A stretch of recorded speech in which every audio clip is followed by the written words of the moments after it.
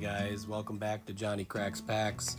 We're going to be opening up some Leaf product today, the 22-23 basketball box. It's uh, pick, top picks from the 22 draft, uh, one autograph card plus the 10 card base set.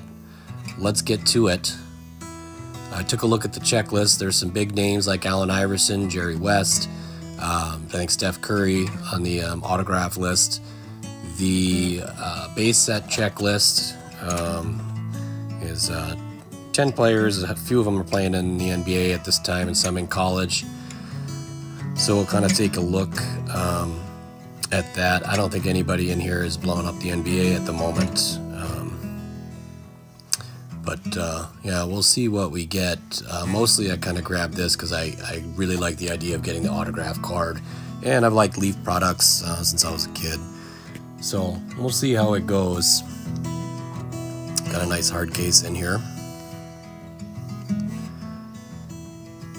Good products. Um, not very, not, don't hold a lot of value. Leaf doesn't really in any of the sports. A little tape on there. I like this little hard case. Um, but uh, yeah, I picked the, the box up for 14 bucks at uh, Green Bay City Cards, a local card shop. Uh, off the discount table, they usually have um, boxes sitting out at significant discounts uh, for all So I figured 14 bucks worth a shot at an Allen Iverson autograph card. We'll take a peek here. We've got uh, Dereck Lively, big center for the Mavs. Scoot Henderson with the Blazers. He's averaging like 12.2 points per game, 4.9 assists. Kaluma's in college. GG Jackson, I think he's on a G League contract. Uh, not sure about this guy.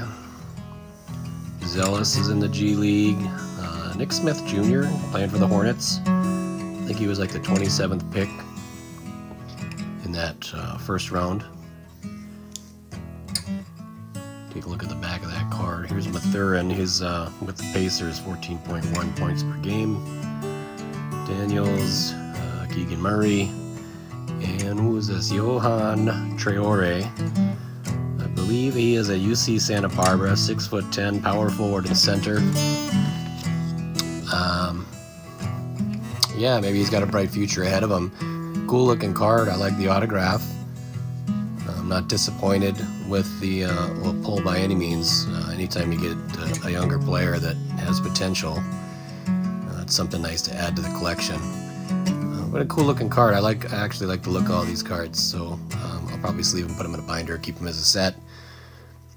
Uh, not sure if I'll pick up another box. Maybe if I have 14 bucks burning a hole in my pocket when I'm at the card shop, but uh, otherwise, um, what you see is what you get, and that I think is rings true with uh, Leaf products all across the board.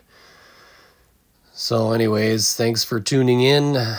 Um, hit the like and subscribe button. Thanks for supporting the channel.